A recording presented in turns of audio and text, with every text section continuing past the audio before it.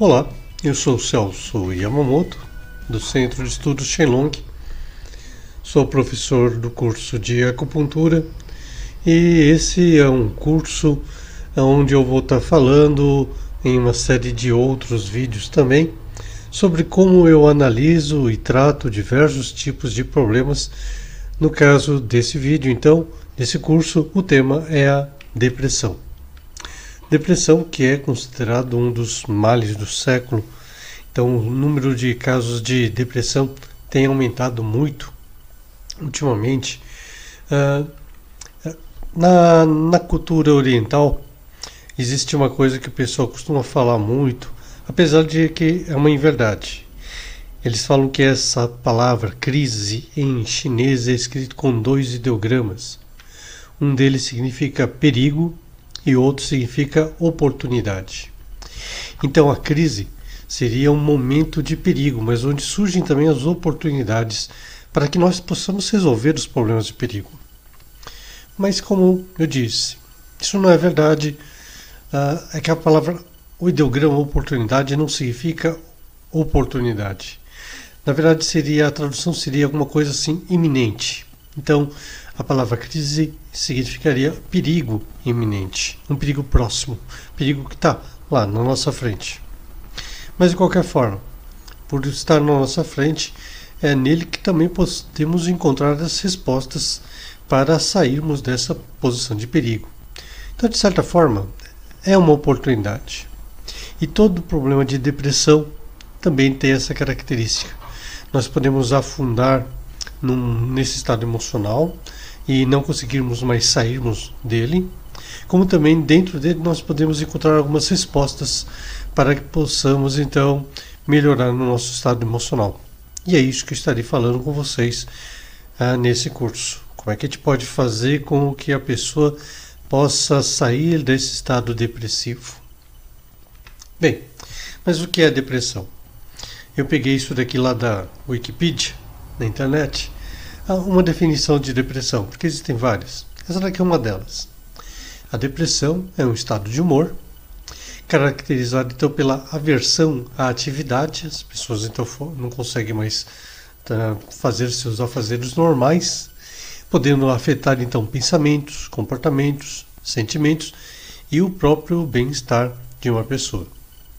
Sem falar que o estado depressivo não afeta muitas vezes somente a própria pessoa, mas todos aqueles que o cercam. Acaba comprometendo também a própria família, por exemplo. E é isso que a gente tem que ver como melhorar esse estado, porque não é só a saúde de uma pessoa muitas vezes que está, que está sendo afetada, mas de todos os que o cercam. Ok? Vamos lá, mas essa definição mais é, ocidental do que é depressão. Na definição nossa da acupuntura, tudo é baseado então no conceito de uma energia vital. Energia essa que se manifesta em cinco elementos que vocês conhecem, né? O fogo, a terra, o metal, a água e a madeira. E como estamos falando de um estado emocional, o, dentro do conceito de cinco elementos existe uma emoção correspondente para cada um dos cinco elementos. Então, a alegria é a emoção que está relacionada com a energia do elemento fogo. A preocupação energia emocional de terra, a tristeza energia emocional de metal. Em água a gente tem o medo e no elemento madeira a emoção correspondente a ele é a raiva. Então, existe um estado emocional para cada um dos cinco elementos. Então, é, é, dessa, desse ponto de vista dos estados emocionais e dos cinco elementos que eu vou estar analisando o problema da depressão durante esse curso. Então a gente vai ver várias formas com que o estado emocional da depressão pode afetar cada um dos cinco elementos e como é que eu analiso então cada um deles e como eu posso e como eu faço então a elaboração de um tratamento, a escolha de pontos para cada situação, tá bom? Então vamos ver isso daqui uh, uh, em partes.